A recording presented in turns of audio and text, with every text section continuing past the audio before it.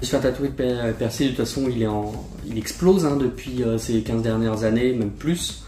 Euh, désir de s'approprier son, son, corps. À Baxas, on a, on a la chance d'être un salon qui est assez réputé sur Paris, qui est là depuis quand même 25 ans maintenant. Beaucoup de gens viennent chez nous pour leur premier tatou parce que, vu qu'ils connaissent peu l'univers du tatouage, ils cherchent surtout un endroit safe, que ce soit en termes d'hygiène ou d'accueil. Et effectivement, on est connu surtout pour ça, c'est qu'on a une hygiène qui est irréprochable.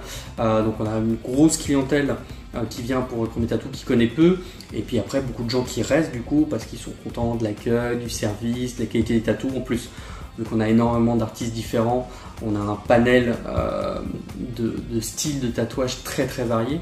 On arrive à trouver à chaque fois l'artiste le plus, à, même de réaliser le projet du tatou de la personne qui veut se faire tatouer. Encore plus parce que sur l'hygiène, effectivement, on euh, c'est beaucoup plus drastique. Nous, on est très connus sur l'hygiène, effectivement, beaucoup de gens viennent pour ça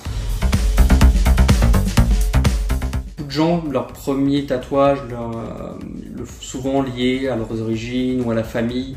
Euh, donc il y a un côté symbolique qui est très important. L'esthétique, qui vient plus, le, coup de tête, euh, ça vient plus après. C'est souvent des fois quand on est très tatoué, on cherche moins symbolique et on cherche plus un artiste ou un élément visuel qui nous plaît plus que la symbolique.